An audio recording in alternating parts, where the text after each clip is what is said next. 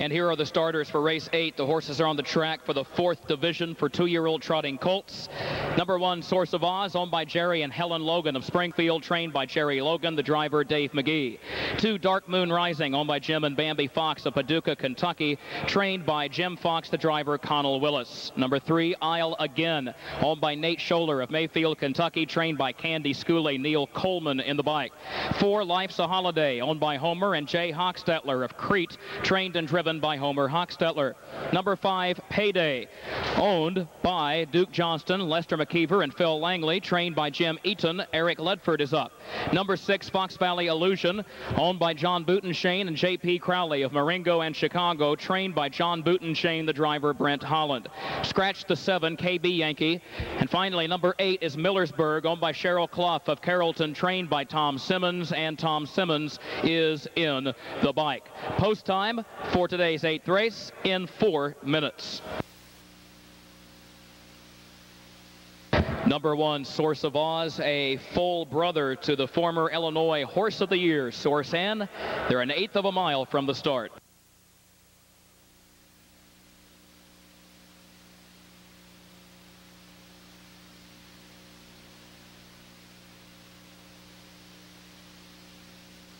Here they come.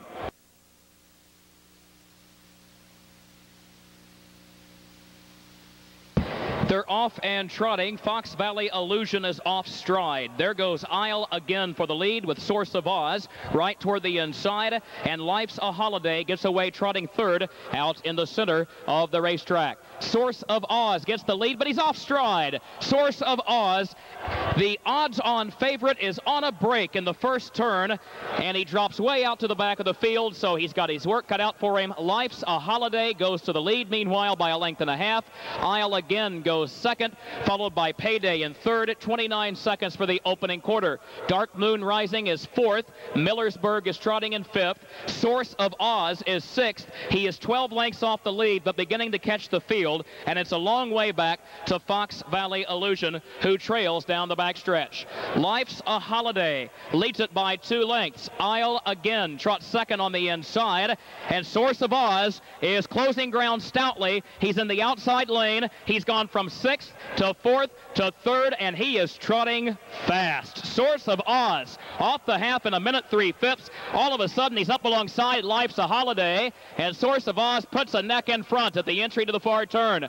Life's a Holiday is still there and now responds to the challenge on the inside, and he regains the lead. Source of Oz backs away in second. Looks like Magee is going to give him a well-deserved breather at the three quarters. Isle again is five lengths off the lead, but dropping back as Payday goes to third. Dark Moon Rising is 10 lengths off the lead. They got the three quarters in 129 and 4. Life's a Holiday opens up by seven lengths now. Payday goes to second. Source of Oz got rough gaited again off the turn. He's third, followed by Isle again. And Life's a Holiday has taken every challenge they've thrown at him. Source of Oz on another break. Payday is second. Isle again third, then Dark Moon Rising. But Life's a Holiday trots on home to win it. Life's a Holiday by three and a half. And then it was Payday second. Isle again drifted way wide, appeared to get third over Dark Moon Rising, but that was close. The time for the mile in 159 into the winner's circle for the eighth race. The unofficial winner, Life's a Holiday, Homer Hochstetler.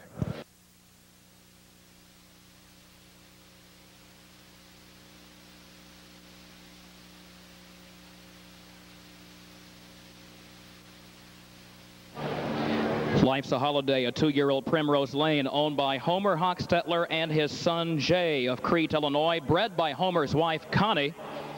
159 is by four-fifths of a second the fastest of the four eliminations.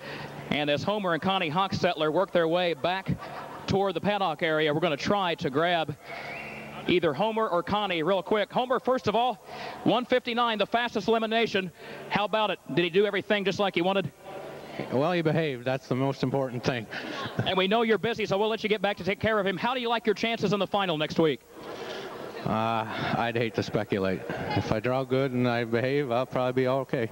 If he draws good, if the colt behaves, he should be okay. Homer, thanks and congratulations. That's Homer Hochstetler. He's the winning driver.